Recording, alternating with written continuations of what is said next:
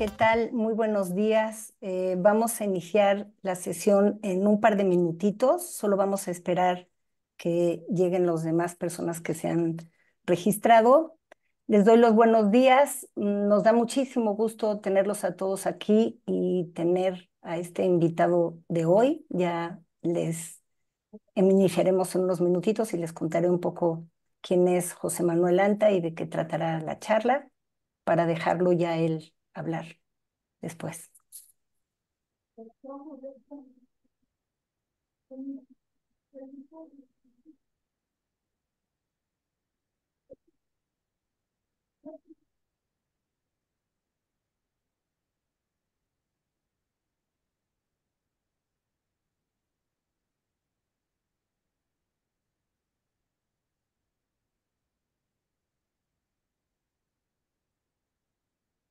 Pues muy buenos días a todos. Eh, no quisiéramos demorar más en iniciar esta charla de el Foro de Innovación Editorial que promueve la CANIEM.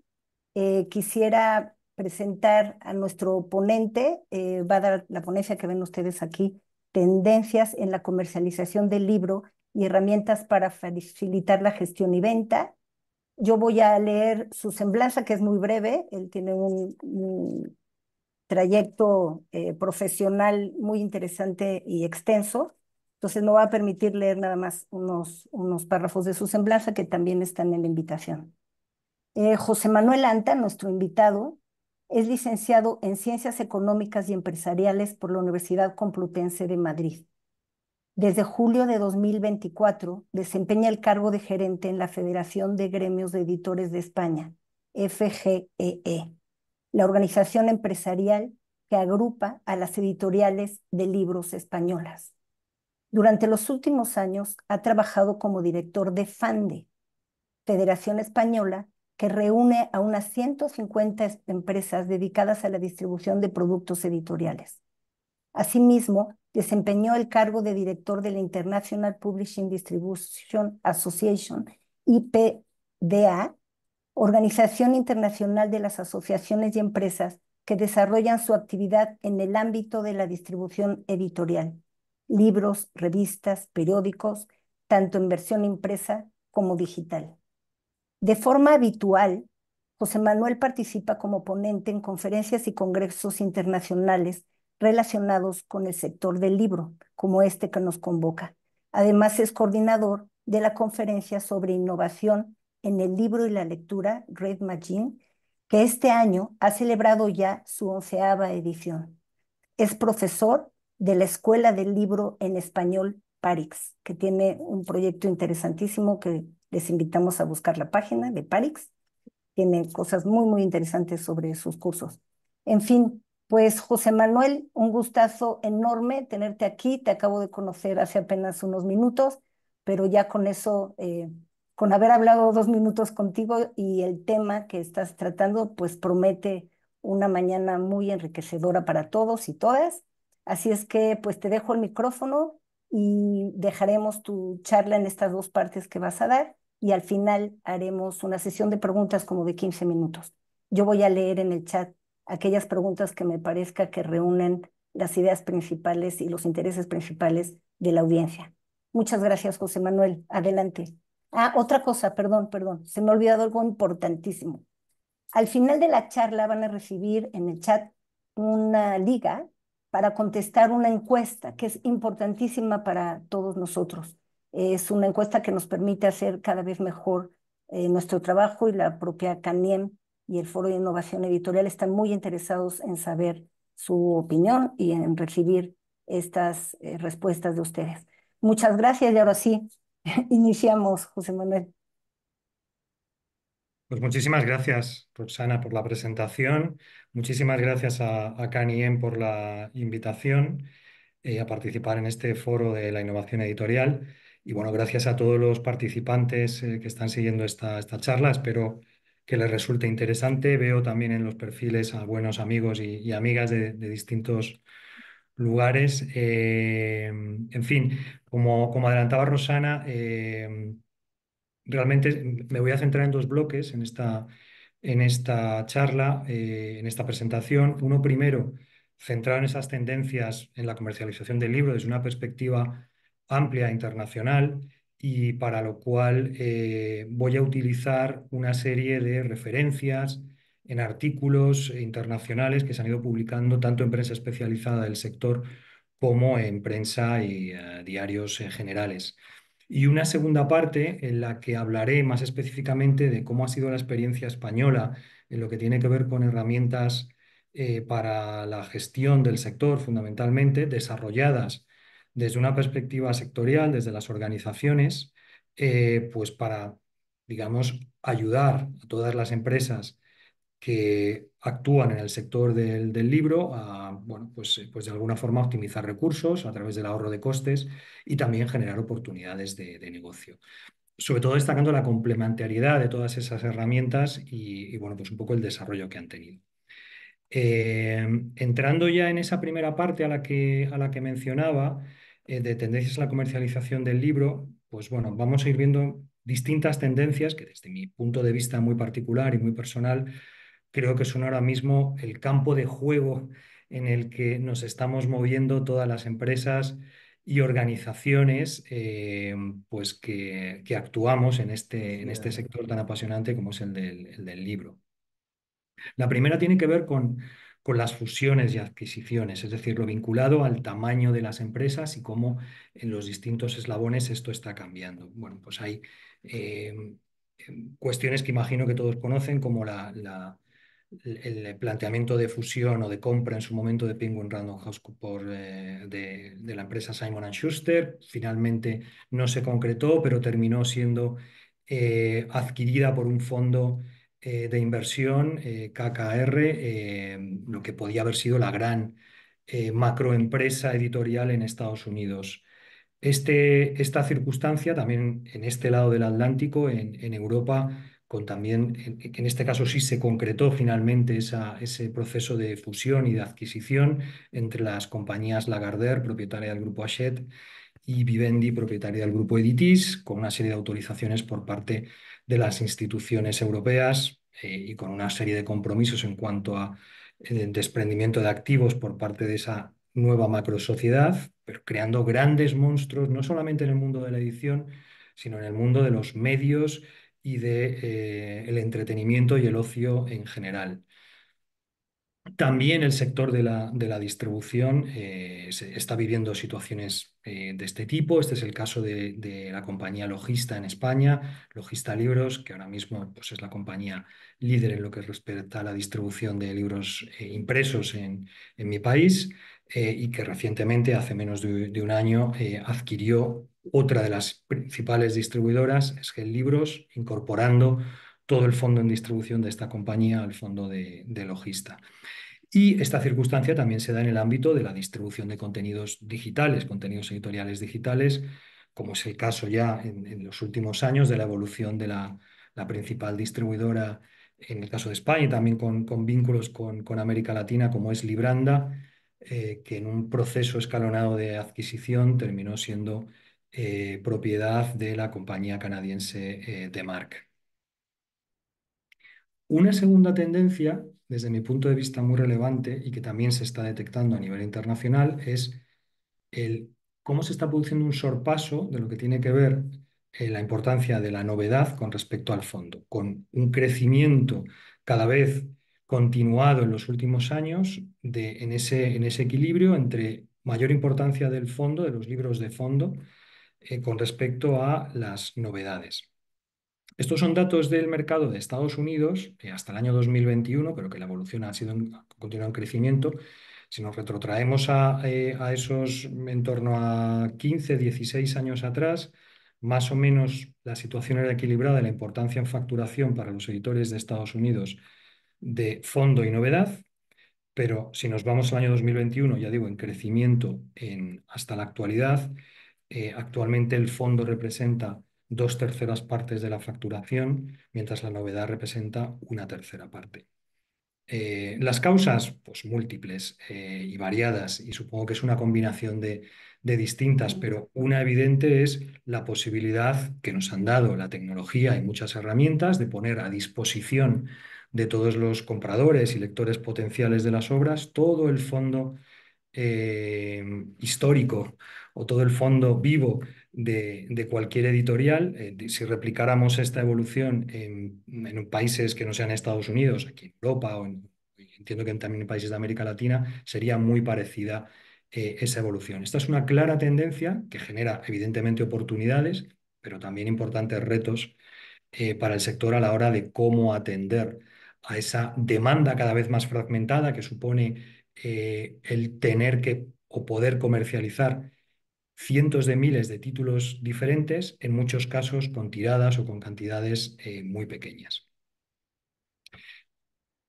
Esta circunstancia que les he descrito se representa en esta gráfica del ya conocido y en muchos casos muy manido efecto de long tail, esa larga cola, en el que un número reducido de, títulos o de productos representan en términos de facturación y de peso de mercado lo mismo que eh, miles y miles y miles de títulos, en este caso, con eh, ventas pequeñas, eh, pero que si sumamos toda esa cantidad de miles de títulos, equivaldrían a, a esa parte de, menor número de títulos con, con, mayores ventas, el mundo del libro se asimilaría a la figura del bestseller. Bueno, pues digamos los bestsellers cada vez son menos y representan un menor número de ejemplares en venta, pero sí lo que ha crecido de forma exponencial en los últimos tiempos, como hemos visto, es eh, los títulos que venden poquitos ejemplares, pero que cada vez son más de ese, de ese perfil. Esta circunstancia nos lleva también a un reto muy importante, que es el descubrimiento del libro. Es decir, cómo entre ese océano de títulos que cada, vez vemos, que podemos activar y, en muchos casos volver a poner disponibles para el mercado, eh, y entiendo que este es ahora mismo uno de los retos fundamentales para el sector, como un lector, como un comprador, como un potencial, eh, una persona que puede estar deseando adquirir un título determinado, conseguimos hacerle descubrir que existe ese título que puede estar entre sus intereses para, para proceder a la compra y a la lectura de, ese libro. Bueno, pues eh, también es otro ámbito de, evolución y de cambio y de desarrollo de distintas iniciativas a nivel internacional. Todo lo que tiene que ver con el desarrollo de eh, dónde están los lectores y especialmente los lectores jóvenes. El vínculo entre redes sociales, comunicación y acceso a, títulos posibles. Eh, el efecto de TikTok, en este caso se hacía mención al mercado de Gran Bretaña, cómo precisamente el que una serie de jóvenes con cientos de miles de seguidores hayan empezado a compartir referencias de títulos y de libros que están leyendo en redes sociales, en el caso de, TikTok como, como red en, mayor crecimiento en los últimos años, ha generado un importante crecimiento de ventas siempre hablando de libros eh, impresos. Y en este ámbito, desde mi punto de vista, eh, y sobre todo pensando en el perfil de editores medianos y pequeños, eh, creo que tiene mucho sentido la selección de posibles colaboradores o empresas que se están desarrollando de forma muy activa alrededor del mundo. Yo cito aquí en esta, en esta referencia a varias de ellas, de distintos países, y cada una con perfiles sí, sí en coincidentes en cuanto a un desarrollo muy importante de herramientas tecnológicas, precisamente para ayudar a esos pequeños y medianos editores em, que puedan dedicarse a su función fundamental de seleccionar títulos, eh, autores, textos y, eh, digamos, esa ayuda en lo que tiene que ver con la comercialización del libro en este nuevo universo que se, que se crea para acceder a potenciales lectores y cómo descubrir ese potencial lector, creo que es fundamental ahora mismo buscar alianzas con compañías de, este, de este, tipo, eh, porque por supuesto los grandes grupos editoriales llevan su recorrido y, también participan de esta filosofía con sus propios eh, desarrollos, pero creo que es un reto ahora mismo de los fundamentales para esas editoriales de tamaño eh, mediano y pequeño. Por supuesto, otra de las tendencias, la situación de las librerías como espacio físico, y cuál es el rol que estas librerías como espacio físico pueden jugar y han de jugar en el futuro en un universo, digamos, en el que cualquiera de nosotros podemos acceder a cualquier libro, eh, por supuesto, eh, digital, eh, cómodamente desde nuestro domicilio, desde nuestro trabajo y también impreso, a, través de ese boom del, comercio electrónico en los últimos años que también veremos. Me parece muy, muy interesante y muy relevante en estos términos eh, el trabajo que ha desarrollado el profesor de la Universidad de Harvard, eh, Ryan Raffaeli, en lo que tiene que ver con el análisis de, eh, quizás lo conozcan algunos de ustedes, pero, Mm, pero siempre lo- me, me parece importante destacarlo, el papel de esas librerías y cómo en un, en un mercado tan competitivo y tan agresivo, con, con eh, el peso muy importante de un, de un agente como Amazon y de las grandes cadenas de librerías, como eh, los libreros independientes, si bien representan una cuota de mercado pequeña con respecto a esos grandes monstruos, por decirlo de alguna forma, eh, sí que están viviendo una situación de eh, crecimiento, desarrollo, apertura de nuevas librerías, de nuevas tipologías de librerías. El profesor Raffaeli lo centra en lo que él considera las tres Cs que han de cumplir cualquier librería independiente actualmente y esta receta es válida para Estados Unidos como para cualquier otro país, en Europa o en América Latina. ujú, Él habla de esas tres Cs, la primera de eh, comunidad, es decir, la librería independiente como espacio físico debe estar integrada en una ujú, comunidad, que puede ser un barrio, que puede ser un pueblo, que puede ser un área concreta de la ciudad, y con interrelación y conexiones, e incluso, ¿por qué no?, eh, proyectos conjuntos con otros comercios similares de esa misma área o de esa misma eh, zona. Una segunda C sería la de conveniencia, convenience, es decir, la librería, el espacio físico de la librería de eh, convertirse en un espacio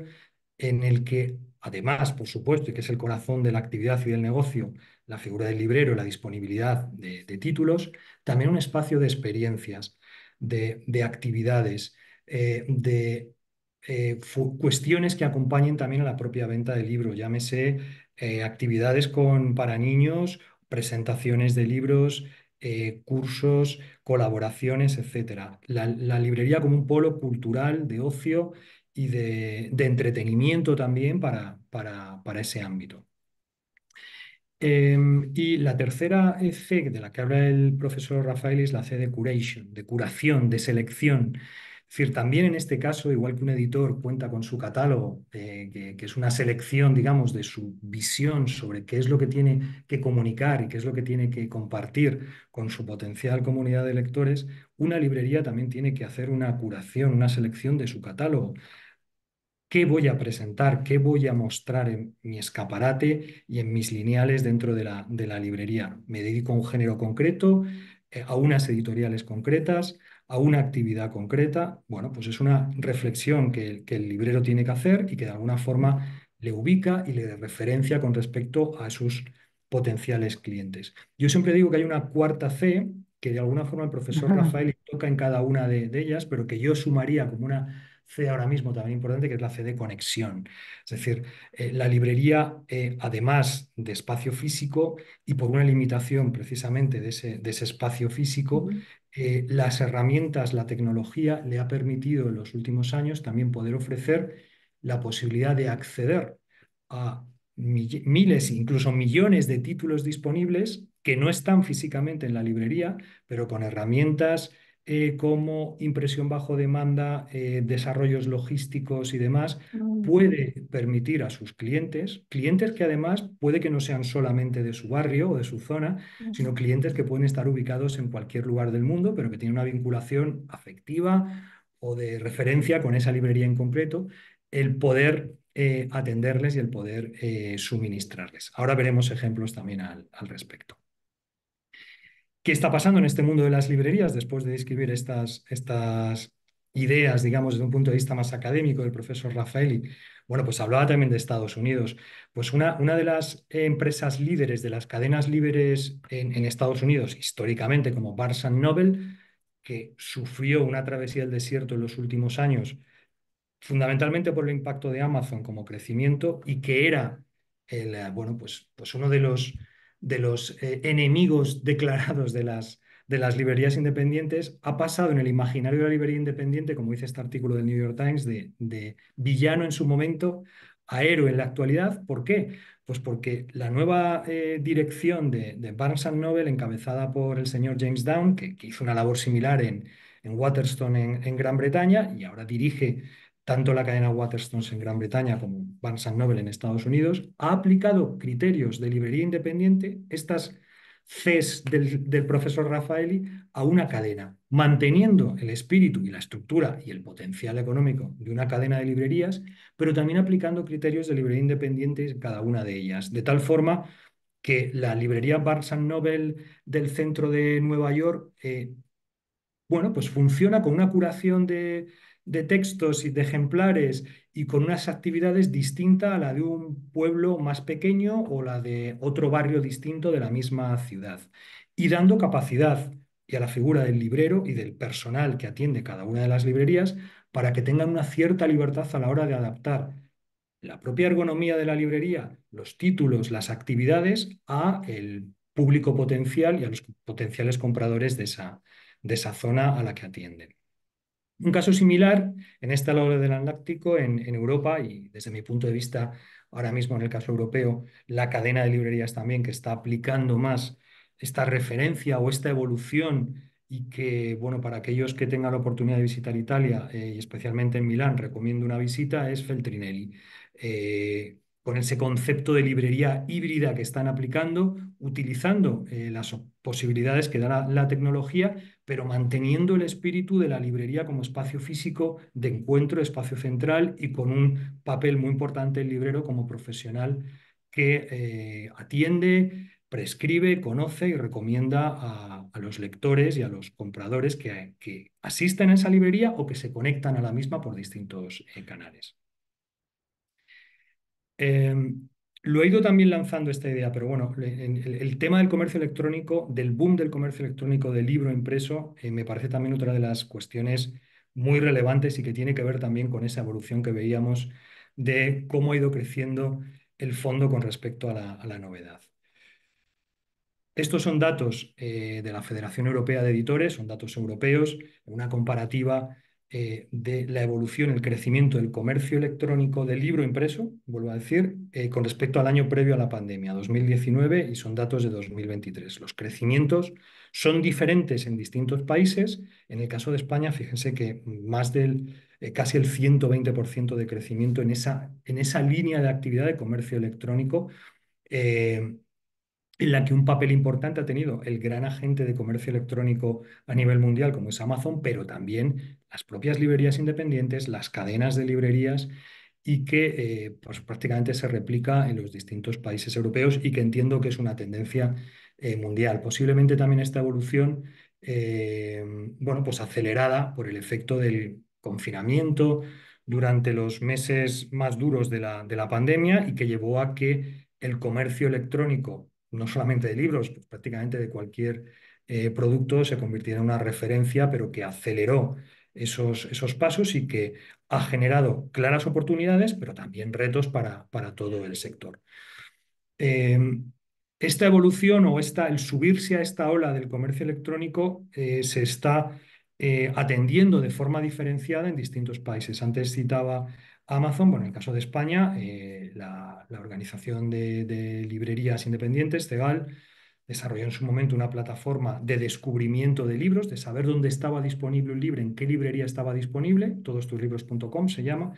pero ya incluso antes de la pandemia la transformó, la amplió a además una plataforma que además del permitir el descubrimiento de libros, permitía adquirir ese libro para que pudiera ser enviado al domicilio del, comprador en nombre de la librería o de la, propia eh, plataforma. Un sistema similar y en este caso en Estados Unidos se desarrolló Bookshop, posiblemente conocido por muchos de, ustedes. Eh, arrancó en enero de 2020 eh, y bueno, pues en marzo de 2020 se produce el confinamiento pues, a nivel internacional eh, y su evolución de crecimiento a cinco años pues, se cumplió en el primer año de, actividad. Ya son cientos y cientos de librerías en Estados Unidos que se, independientes que se conectan a esta plataforma y que les da cobertura para atender las solicitudes eh, de adquisición de libro impreso por parte de, potenciales compradores. Utilizando el sistema eh, denominado dropshipping, no sé si lo conocen ustedes, pero bueno, básicamente eh, lo que implica ese sistema es que los libros no están físicamente en la librería, sino que están en un gran almacén, habitualmente de un distribuidor, de un operador logístico.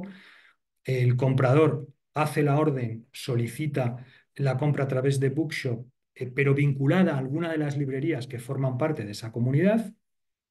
El, eh, eh, libro sale o la compra sale desde, desde las instalaciones logísticas de ese distribuidor directamente al domicilio del comprador, pero en nombre de esa, de esa librería. De tal forma que, bueno, realmente la librería que ha generado la venta a través de Bookshop promociona la venta y demás, pero digamos,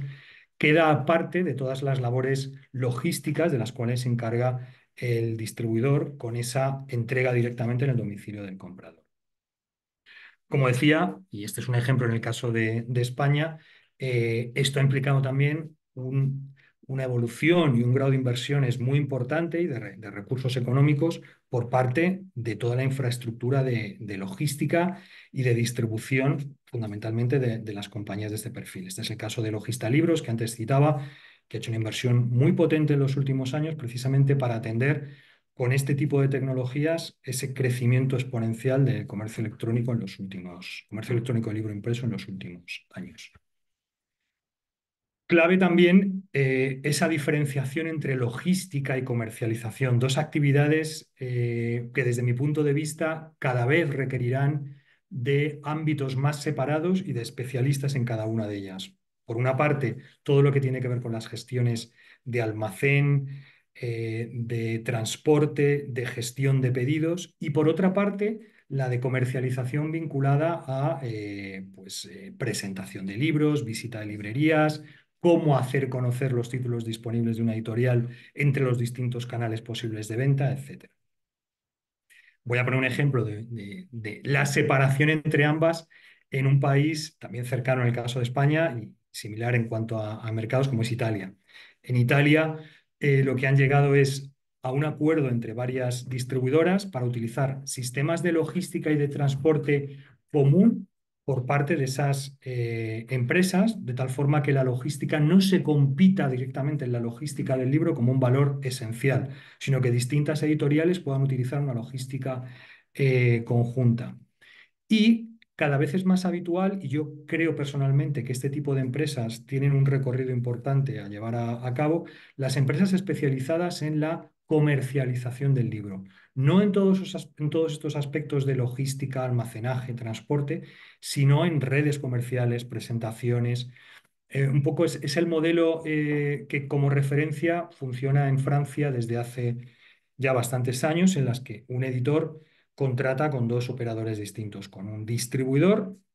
para toda esa parte logística eh, de distribución, almacenaje, etcétera,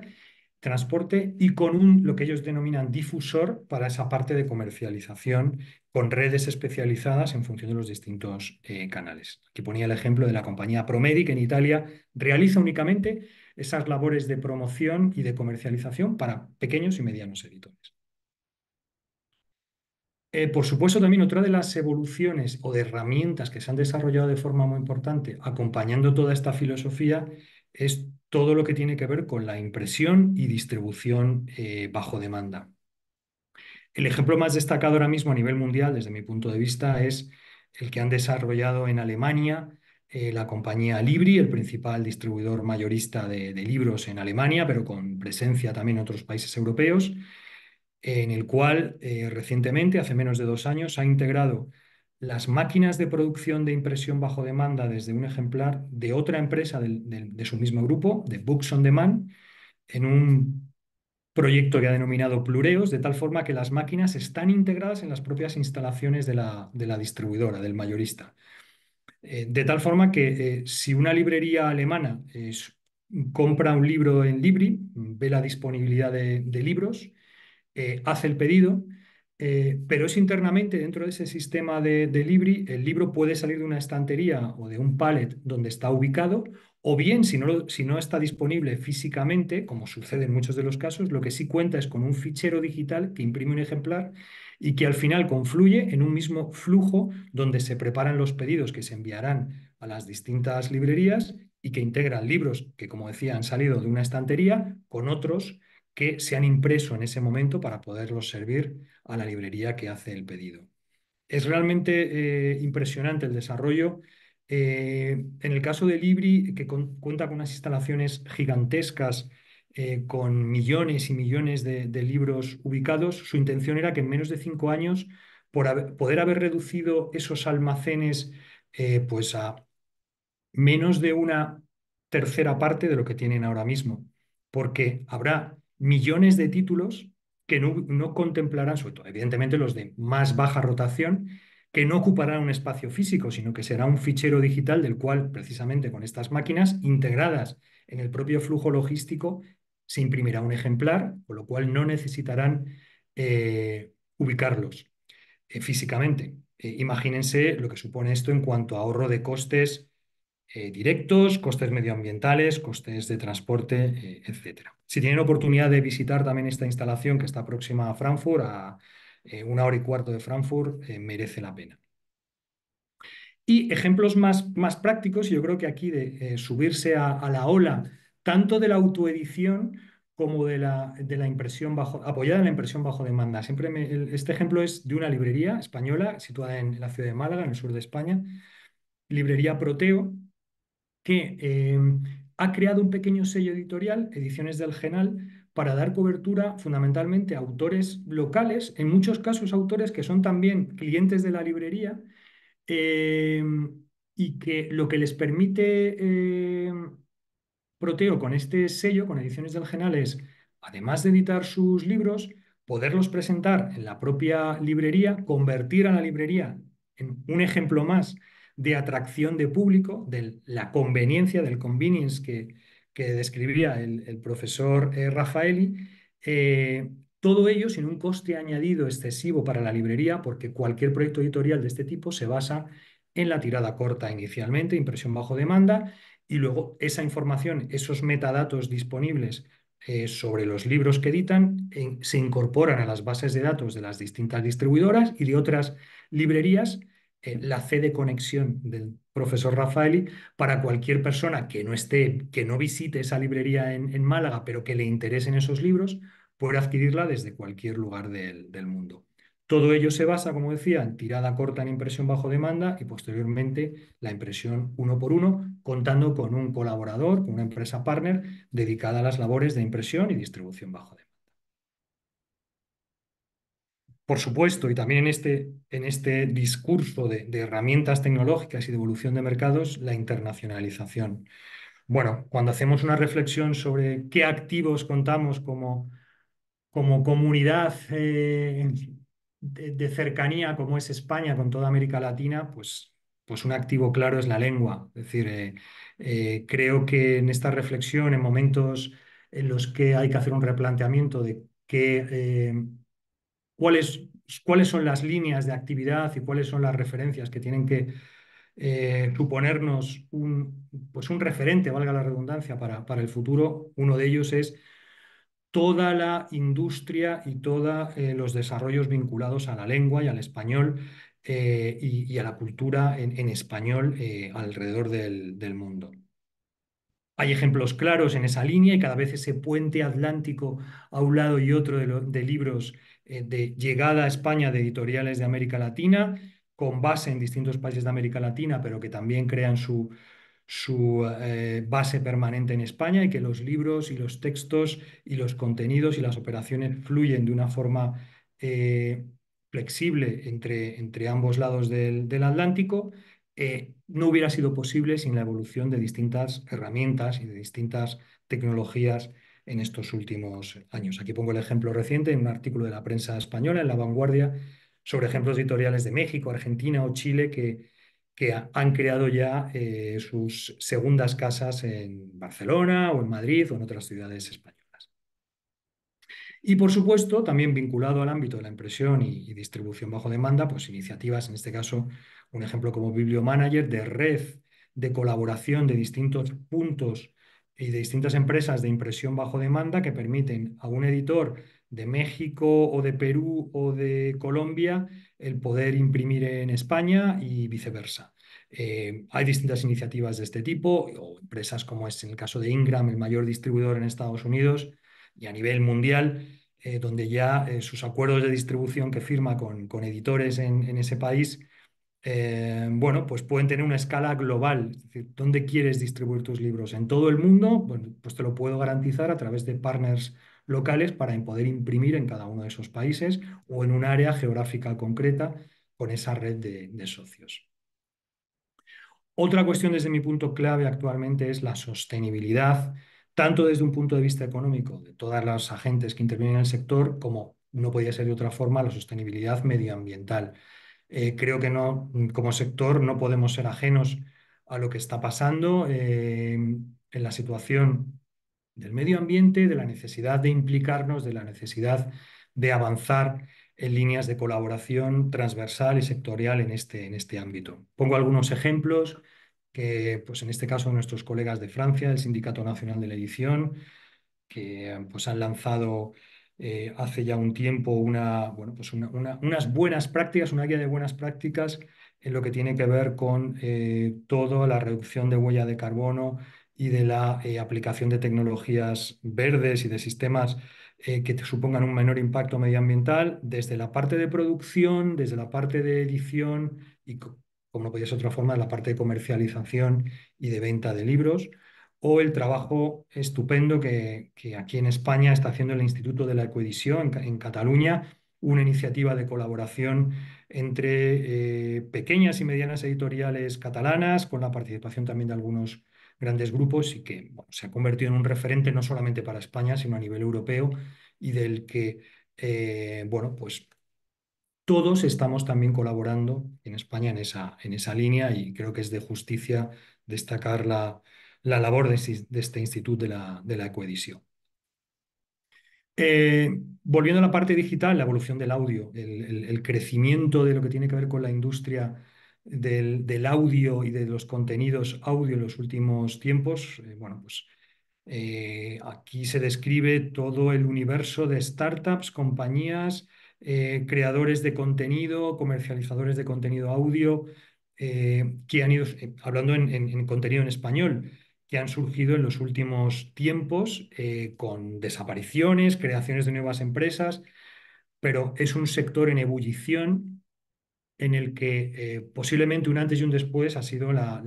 pues, la apuesta de Spotify uno de los líderes en este campo, de dar el salto también a más allá de, convertirse en una plataforma de la industria musical, de, de una plataforma de la industria del audio, con todo el universo de, por supuesto, audiolibros, pero también de, de podcast. Es un sector en evolución, en crecimiento, todavía es de cifras eh, pequeñas, pero que, creo que para cualquier editor ahora mismo también tiene que tener una referencia de buscar los colaboradores y los partners adecuados para poder avanzar en lo que tiene que ver con la creación y la comercialización, que es muy específica en este, en este ámbito. Y, em, en fin, toda esta evolución de herramientas, de servicios, de tendencias, creo que no tendría eh, mucho sentido si no fuera acompañada de algo que muchas veces nos olvida, y es la, la capacitación, la adaptación de, por una parte, los actuales profesionales del sector para poder conocer estas realidades, estas tendencias y estas novedades que se están dando a nivel internacional y qué herramientas hay y qué posibilidades hay para poder acometerlas en lo que suponga de adaptación de puestos de trabajo, conocimiento de los actuales profesionales y también, como no, atracción de talento joven para que se incorporen con esa capacitación a, esta, eh, a este sector del libro y para tratar de hacerlo mejor, más competitivo, más integrado en un futuro. En este sentido, y, antes Roxana hacía, hacía, mención a ella, eh, una de las iniciativas en la que más estamos apostando y colaborando todo el sector del libro en España, desde la Federación de Editores, en la que ahora desempeño mi labor, como las organizaciones de industrias gráficas, de distribuidores, de libreros, de autores, de ilustradores, de traductores, Sparix, eh, la Escuela para el Libro en Español eh, proyecto eh, que surge con financiación de fondos europeos, del Ministerio de Cultura española y que a la que da cobertura y da el desarrollo de toda la iniciativa eh, la Fundación Germán Sánchez Ruy Pérez, una fundación líder en España en lo que tiene que ver con los procesos de innovación y de investigación en el ámbito del libro y de la, y de la lectura. se ha hecho un arduo trabajo de colaboración sectorial. Arrancó en la actividad de esta escuela en marzo de 2023 con el horizonte de capacitar a 4.000 profesionales del sector del libro español eh, hasta mediados de 2026. Eh, eh, se ha creado un catálogo de ya más de 30 cursos. les invito a que visiten la web y los, los vean. Son cursos gratuitos actualmente con la limitación de que tienen que limitarse por esos, esa, esos fondos europeos a personas domiciliadas o radicadas en España o en países europeos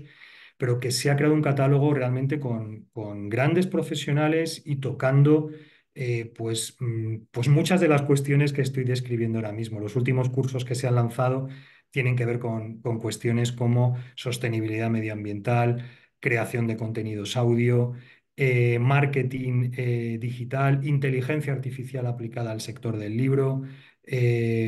presencia, internacionalización en ferias y demás, impresión bajo demanda. Eh, con renovación de los contenidos. Son cursos online 100%, con algunas entradas presenciales, pero con el formato de, eventos, y, pero se pueden seguir 100% online. Y yo, eh, mi voluntad, y creo que la voluntad de, la Fundación es que cuanto antes puedan abrirse a todos los profesionales del mundo del libro de, América Latina. De hecho, eh, en la próxima, aquellos que estén en la Feria del Libro de Guadalajara, eh, va a haber alguna presentación específica de Parix, incluso en colaboración también con, con Caniem sobre todo este proyecto. Y bueno, pues vinculado a muchas de las cosas que hemos comentado, la, la innovación. Es decir, son también múltiples los proyectos que se están desarrollando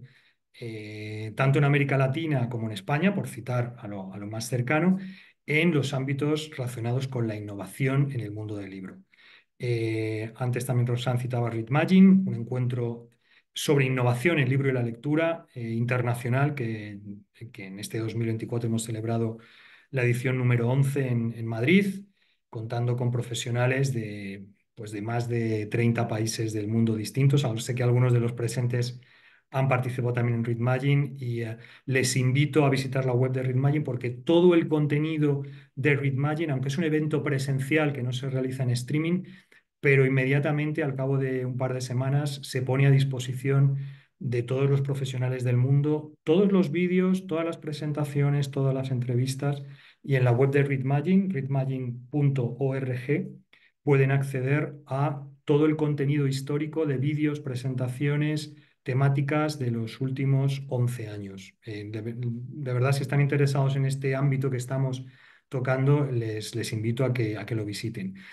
Y eh, bueno, pues iniciativas, por destacar algunas como las de este foro en el que eh,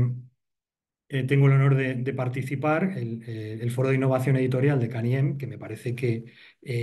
que los siguientes pasos tienen que ser de colaboración entre las distintas iniciativas. He citado alguna más, Forum Edita, desarrollado por el Gremio de Editores de Cataluña y que también tendrá una presencia muy activa este año en la Feria del Libro de Guadalajara o Emprende Libro como ámbito de colaboración entre proyectos o pequeñas startups que surgen relacionadas con la industria del libro y eh, que se trata de conectar con las empresas ya eh, estructuradas, de alguna forma un acelerador de proyectos de la industria del libro que también estamos desarrollando en España, eh, también en colaboración con la Fundación Germán Sánchez Ruy Pérez o Renodo, eh, también en el que colaboramos pues, como repositorio también de contenidos, documentación y vídeos sobre todo este escenario de innovación en el mundo del libro.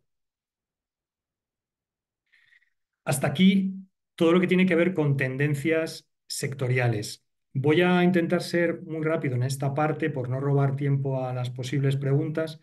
pero es esa segunda parte de la presentación a la que les que citaba en un principio de centrarme ahora en cómo ha sido la experiencia española en cuanto a, con este universo, con este campo de juego en el que nos encontramos, qué herramientas hemos ido desarrollando desde las organizaciones del sector, siempre con un espíritu eh, colaborativo y de complementariedad entre todas ellas, para tratar de ayudar a las distintas empresas y a los distintos profesionales que operan este sector, tratando de optimizar recursos y generar pues, pues ahorros de, de costes. Con ese escenario que veíamos que somos un sector posiblemente yo no conozco otro sector como el sector del libro con tal volumen de productos distintos diferentes, de títulos, y con ese reto y oportunidad que supone los millones de, títulos disponibles y el poderlos eh, poner a disposición eh, de, los millones de, de potenciales lectores y compradores. A esto se une la complejidad de una cadena de comercialización del libro, hablando del libro impreso, donde hay múltiples funciones, múltiples actividades, eh, múltiples agentes que intervienen y además con distintas capas de flujos de, producto, un producto físico que va y viene en, el ámbito de las devoluciones, como es el, libro impreso, pero también de flujos eh, de información, de ida y vuelta, y flujos económicos. Con esto quiero decir que es muy probable en todo este entramado que se produzcan errores, ineficiencias. Entonces, justifica el hecho de que tratemos de crear un ecosistema de herramientas que ayuden a ordenar o que ayuden a minimizar los posibles errores que, es inevitable que se produzcan en esta, en esta cadena. Eso es lo que alumbró el desarrollo a lo largo del tiempo de, estas, de este portfolio, de este ecosistema de herramientas que trataban de cubrir distintas necesidades. Pues lo que tiene que ver con la disponibilidad de metadatos, es decir, de la información de referencia sobre el libro que el editor lanza al mercado, pues desde los datos más mm, obvios, como puede ser el autor, el título, el precio, el, el ISBN, etcétera, a otros datos cada vez más complejos y más enriquecidos, llámese sinopsis, portadas, vídeos, otro tipo de cuestiones. Eso alumbró el, desarrollo de Dilbe como gran en repositorio, gran plataforma de información eh, y de disponibilidad de datos sobre, esa, sobre los libros en venta en el mercado en España. O Sinly como eh, sistema para el intercambio de información comercial normalizada entre los distintos agentes que operan en el sector, ya sea facturas, albaranes, pedidos, cambios de precio, cambios de estado, siempre vinculado también en muchos de los casos a la actualización de metadatos en, en o LibriRed como un desarrollo de la Confederación de Libreros de CEGAL para reportar información sobre las ventas que se producen en las librerías. De tal forma que ahora mismo creo que son en torno a 800 las librerías que reportan diariamente información sobre lo que están vendiendo a un repositorio al que pueden acceder usuarios de información, editores, distribuidores u otros agentes, para tener una radiografía de qué se está vendiendo y dónde se está vendiendo no a nivel de cada una de las librerías, pero sí al menos a nivel provincial y de cada uno de los títulos de los que podamos estar interesados. O todos tus libros que antes citaba como inicialmente herramienta de descubrimiento de libros y luego de plataforma de comercio electrónico. O un programa para la mejora de la cadena de suministro de libros, es decir, unos protocolos que marcarán unas reglas de juego mínimas entre los distintos eh, agentes del sector, de, pues desde identificar a cada uno de ellos, a cómo deben hacerse los pedidos, a cuáles son los metadatos básicos o mínimos que deberían aportarse a DILBE y en qué plazo, etc.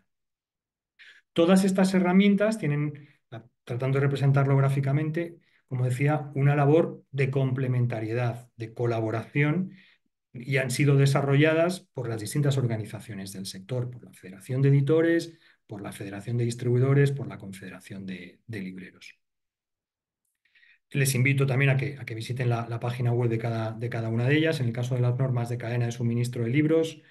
eh, bueno, pues estas son las principales normas que se han desarrollado tratando de marcar, digamos, ese terreno de juego eh, fundamental eh, y además en cada uno de los proyectos se trata de proyectos que están, están vivos. Surgen nuevas versiones de software surgen mejoras, eh, en el caso de Dilbe, evolución en las próximas fechas de, nueva estructura, de nuevo software, de nuevas mejoras, de nuevas funcionalidades. Eh, o nuevas incluso normas de cadena de suministro de libro, tratando nuevos protocolos, tratando de atender a necesidades que vayan surgiendo en el día a día de las empresas que operan en el sector, pero siempre tratando de crear ese campo de juego que sea común para todos y que permita eh, generar ahorro de costes y también nuevas oportunidades de negocio. Y como conclusión, un poco repaso y que espero eh, les pueda servir también un poco como, pues en fin, ámbito de, desde mi punto de vista siempre muy personal, cuáles son eh, las eh, referencias que creo que cualquier empresa que opere en el sector del libro, por supuesto desde el ámbito editorial, pero también desde otros ámbitos, siempre vinculados a la comercialización, debería tener en cuenta. La importancia clave de los metadatos, metadatos completos y en forma. Unos buenos metadatos, una inversión en metadatos por parte del editor es igual directamente a más ventas. Es muy importante el que apostemos por las distintas, en el caso de España, por, por Dilby, las distintas plataformas de metadatos como una referencia que supone una inversión en el editor, no un coste, sino una inversión de tiempo y de recursos, pero que va a ser, el retorno va a ser multiplicado eh, por unas mayores ventas. Una estrategia digital transversal. Estrategia digital no quiere decir vender libro electrónico o vender ebooks. Esta estrategia digital parte desde cómo se compone un libro, cómo se va a imprimir, eh, las distintas opciones de producción, de creación, de comercialización, para que el resultado final sea un libro impreso, si el comprador, el lector lo desea, o un libro digital, o un capítulo, o un eh, audiolibro, o un podcast, en función de lo que necesite o requiera el comprador, el lector determinado. Para todo ello, una serie de tecnologías aplicadas al comercio del libro que es necesario que cualquier profesional tenga una referencia mínima y conozca cuestiones relacionadas con el marketing digital, con la impresión bajo demanda, con dropshipping, con descubrimiento, con la aplicación de inteligencia artificial en el sector, el manejo de grandes cantidades de datos, siempre apoyado en los partners, en los colaboradores adecuados que existen y que se van a ir desarrollando y no solamente pensemos que esto es un tema para grandes corporaciones y grandes empresas, sino también para medianas y pequeñas editoriales. Reforzar el papel de las librerías físicas, creo que eso es una responsabilidad de todo el sector, crear equilibrios entre los grandes operadores internacionales y una red de librerías independientes sana y potente en los distintos eh, países y, como digo, reforzando el papel del librero, su papel prescriptor, su papel como corazón de la librería, con el apoyo y con la colaboración de todo, de todo el sector. Y por supuesto, esto no tendría sentido, como decía, sin un acompañamiento de la capacitación, de la, del reciclaje incluso, de la, de la mejora, de la, de la formación o de una nueva formación de los actuales profesionales del sector, pero también de los nuevos, de atraer talento. Creo que es fundamental el que el sector del libro eh, internacionalmente se convierte en un sector que atrae talento, que atrae gente joven, que atrae también eh, expertos en tecnología de otros ámbitos y que se, le quite la etiqueta de un sector atrasado o un sector no, no demasiado avanzado en ese sentido. Eh, iniciativas como Parix, pero existen otras iniciativas a nivel internacional, entre ellas la de Canien con esta, con esta iniciativa, creo que tienen todo el sentido y ya más en un nivel más, más amplio, más, eh, digamos, poniendo el foco muy por encima, bueno, pues yo creo que está la reflexión general de cuál es el papel del libro y de la lectura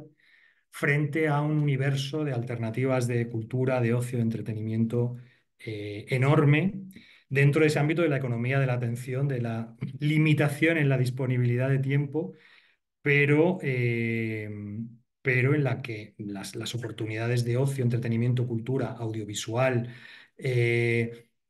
música, cine, eh, series, eh, es tremendo. Creo que hay un ámbito, evidentemente, de competencia, pero, ¿por qué no también de explorar colaboraciones y ámbitos cruzados y transversales, transversales con otras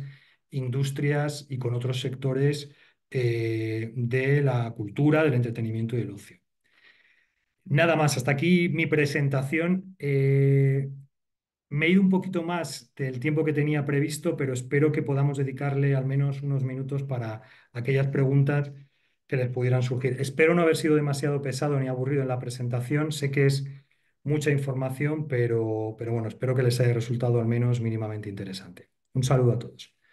Mm. Gracias, José Manuel. Creo que bastante interesante. Eh, es un universo también lo que nos has mostrado de proyectos, de ideas, etcétera, etcétera. Yo quisiera empezar nada más con una pregunta que hizo Alma Alcántara. acerca de ese gráfico que pusiste en dos ocasiones, en la primera y en la segunda parte, sobre los libros eh, de novedades contra los del fondo. Ella dice, Alma Alcántara, una duda. ¿El precio del libro influye en el aumento de las ventas de los libros del fondo, puesto que estos suelen entrar en promociones y rebajas? ¿Hay una influencia? Eh, ¿Nos puedes explicar? A ver, eh, eh, digamos, el precio evidentemente es una, es una referencia en cuanto a, la posible, a la posible compra. hablo del caso de España porque aquí entraríamos en toda la cuestión relacionada con cuál es la, legislación para la fijación del precio del libro en cada uno de los países. Hablo del caso español, que es mm, similar al de otros países europeos, como puede ser Francia, Alemania, Italia, con algunas modificaciones, pero que como creo que muchos de ustedes saben, eh, se trata de un sistema de precio fijo en el que es el editor el que fija el precio de venta al público de, cada uno de los títulos. Y es el editor el que establece cuándo ese libro deja de estar sometido a ese sistema de precio fijo, que habitualmente, por poner un, plazo de referencia, suelen ser en torno a dos años desde que el libro es lanzado, pero puede ser más o menos en función de la decisión del editor de pasarlo ya a un sistema en el que el libro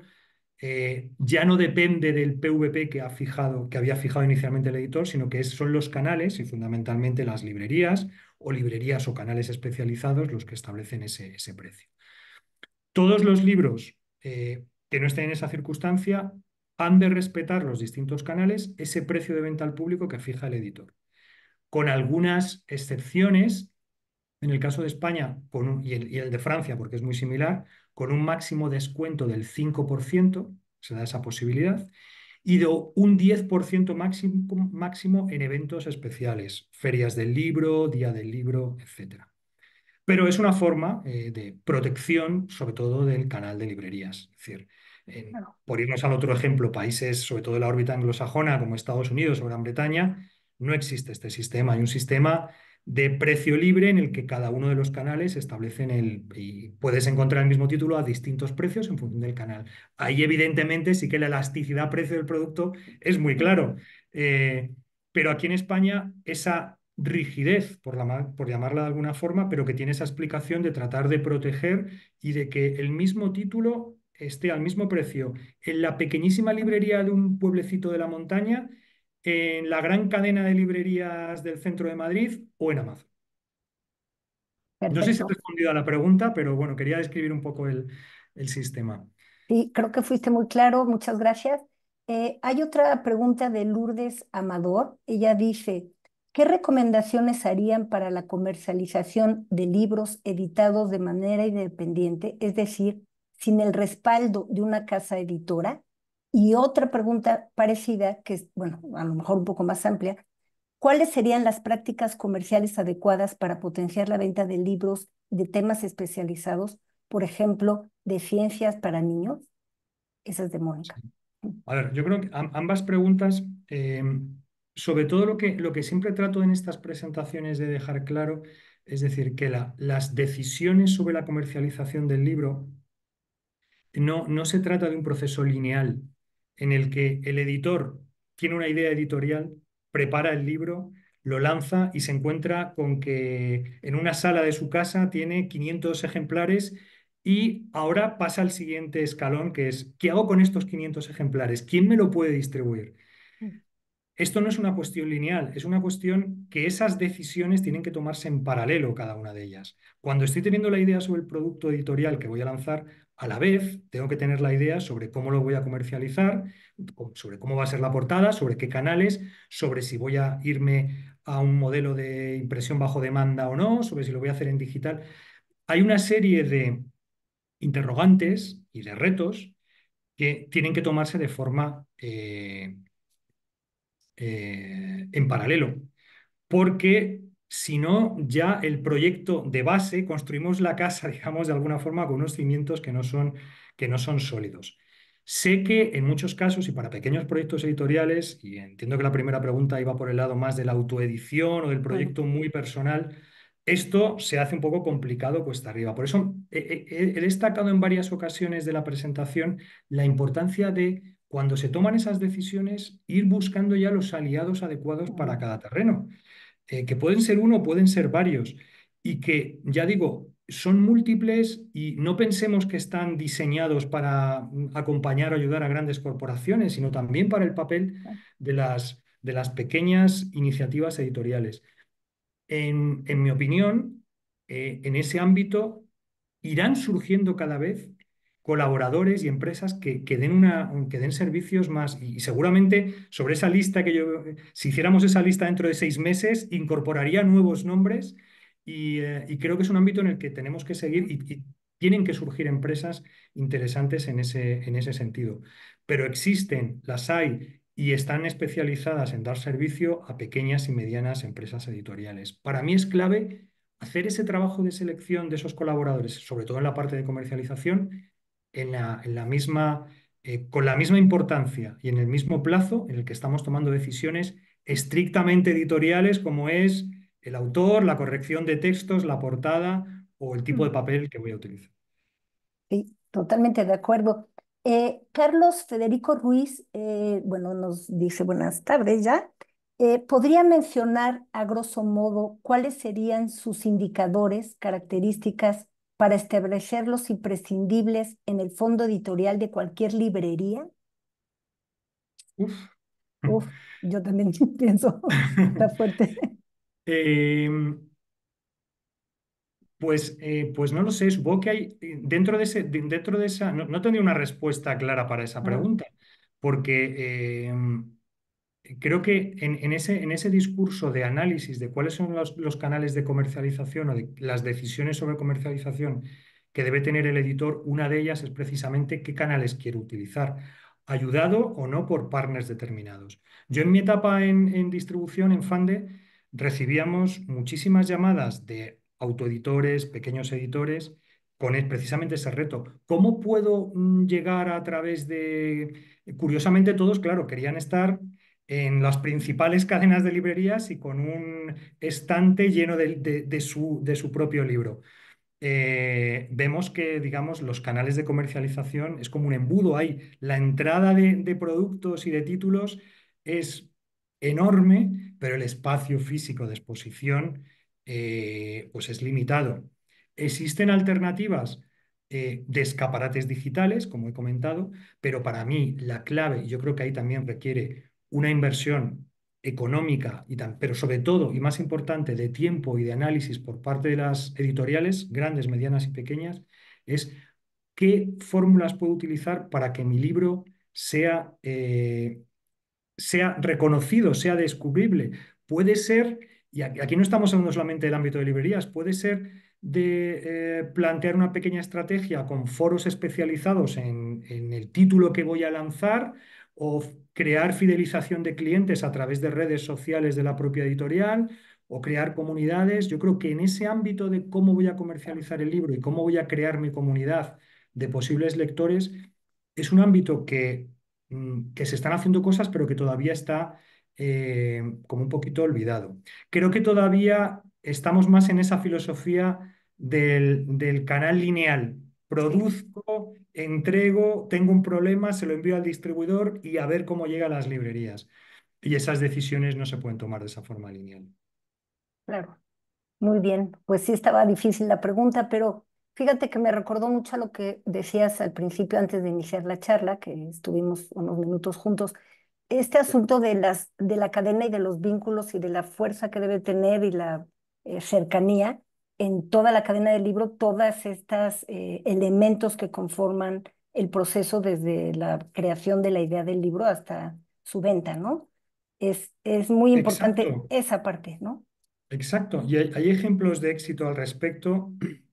Pongo un ejemplo, hay, hay muchos, pero en el caso de España, un, una, eh, un grupo de librerías que, perdón, de editoriales pequeñas, de proyectos independientes que surgen hace 15 años, entre otras Sexto Piso, con, con presencia en, en, en México, pero que también cuando, cuando inicia su desembarco en España, pero otras como Libros del Asteroide, Impedimenta, Nórdica y demás, que todas ellas llegan a acuerdos con, con un distribuidor en concreto y desde un principio invierten tiempo en... eh, intercambiar mucha información con el distribuidor y lo siguen haciendo como método de, de trabajo, de implicarse en la venta, pero también reciben aportaciones del distribuidor, consejos. Pues creo que, que aquí la, portada debería cambiar en esta forma. Creo que debes pensar eh, en un número de ejemplares la primera tirada, eh, que igual son pocos, igual son muchos. Es decir, todas esas decisiones se toman también en colaboración con el experto, digamos, entre comillas, que te puede ayudar en la comercialización. Eh, bueno, pues es un ejemplo de éxito en ese sentido. Por supuesto, luego hay títulos que hay circunstancias que hacen que, eh, que no sean tan exitosos como, como otros. Pero si hiciera un resumen de todas, esas, editoriales, todas ellas se han consolidado, llevan 15 años operando como proyectos que siguen siendo de editorial independiente y no digo que sea el 100% su éxito ese, pero seguro que una parte importante ha sido el, el plantear, el apoyar esa, esa filosofía. Claro. Pues muy bien, qué pena que el tiempo eh, se va veloz. No sé si quieran que abramos el micrófono para alguien que prefiera hacer alguna pregunta eh, de manera oral, porque ya en el chat no hay más preguntas, salvo alguna que me salté aquí y pido una disculpa. Eh, de Mónica Díaz León, a lo mejor terminamos con esta para irnos hacia los niños, que es un tema muy bonito. Mónica Díaz de León dice, ¿cómo se pueden enfocar estos puntos y consejos en la industria de libros para niños? A lo mejor cerrar con esto, piden también tu contacto y bueno, cerraríamos con esta respuesta si puedes, por favor. Sí, em, exactamente igual. O sea, para mí estas tendencias son aplicables a cualquier tipología, eh, digamos, del ámbito, del ámbito editorial. Cambian, eh, bueno, pues los posibles canales que hay que considerar. En el ámbito de la edición infantil tiene un peso muy importante eh, las librerías especializadas. Es de los ámbitos, recientemente, en julio pasado, presentamos los datos de evolución del mercado del libro en España de la Federación de Gremios de Editores, de, comercio interior, y sigue siendo muy importante el crecimiento del ámbito de, en facturación del libro infantil y juvenil. Eh, creo que hay todas estas referencias son aplicables al 100%, eh, independientemente de la, de la tipología de, editorial de la que estamos hablando y, por supuesto, en un ámbito como el libro eh, infantil y juvenil. Eh,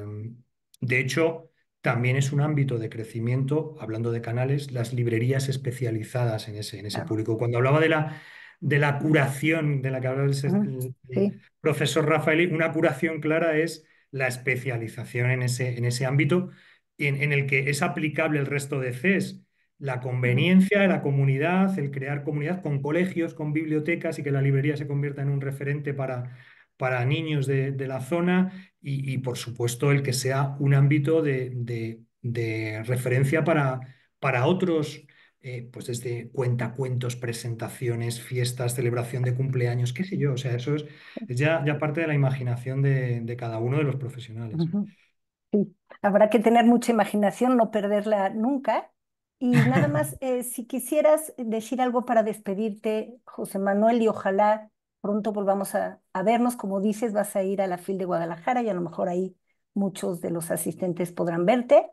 Eh, pero si quieres decir algunas palabras solo para despedirte. Sí, bueno, e, efectivamente, eh, no incluye la presentación mi dirección de correo electrónico, aunque no tengo ningún inconveniente, por supuesto, como no podía ser de otra forma. Si Canien quiere compartirlo con aquellas personas que lo necesiten, encantadísimo. Voy a estar en, eh, pues ya en los próximos meses en los distintos eventos del sector para todos aquellos. Sé que a, muchos o a muchas, o espero de las personas eh, que han seguido la presentación, que espero no, que no les haya resultado demasiado aburrida, verles físicamente, porque eh, esto está muy bien, pero al final el saludar, el mirarse a los ojos y el poder charlar, e incluso tomarse un café, un vino o una cerveza, pues supone también algo de plus eh, pues en Liber en Barcelona eh, a primeros de octubre, en Frankfurt en, Alemania a mediados y por supuesto en la FIL en Guadalajara eh, pues a finales de noviembre, principios de, diciembre. Así que, y más allá de esos eventos, estamos en contacto. Yo a disposición de todos mis amigos y de todos mis las personas a las que aprecio y quiero en, en México y a todos los profesionales del sector del libro que que hay gente de primera en, México y estupendos profesionales del libro y que yo creo que eh, no nos queda otro ámbito que el de colaborar, siguiendo lo, que decía Roxana, el ayudarnos y el tratar de hacer mejores y, y, eh, más sólidos y más solventes y más fortalecidos eh, pues el sector del libro en- en términos generales. Pues muchísimas gracias. El chat se llenó de agradecimientos por todos lados. Les encantó tu charla. Y pues nos veremos en la próxima, eh, José Manuel. Y no olviden a todos los asistentes, como les hemos recordado, llenar eh, la encuesta, eh, estas preguntas que les mandamos en el chat. Ahí han visto ya el link. Y pues agradecerles que hayan estado aquí, también que hayan hecho estas preguntas tan interesantes y a seguir trabajando y uniendo talentos y esfuerzo y cariño por el trabajo que hacemos. Muchas gracias, José Manuel, muchas gracias a todos. Eh, un abrazo. Saludos para todos. Un placer, de verdad. Estamos en contacto y nos vemos pronto. Claro que sí. Abrazos. Abrazos.